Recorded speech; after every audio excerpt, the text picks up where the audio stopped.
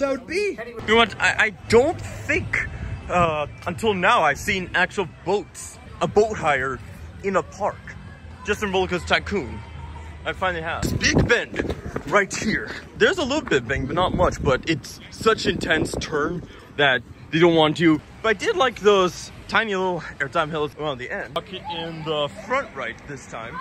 Couple of differences, although the crowds will probably come uh, at All right, that was my first ride on Skyrocket. The launch seemed to be better. How are you going to prevent zombies from entering the roller coaster if there are no gates there?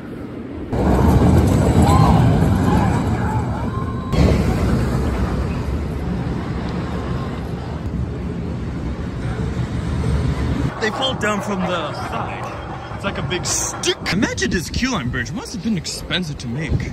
Here's a queue line. I think I'm in Raging Cage at Six Flags, but that one was definitely a little bit smoother and completely dark uh, as well. Uh, yeah, that seems like a stall uh, over there with that kind of bridge-like area. And just before the stall is Superman style straight track. That is one of my whirlwind.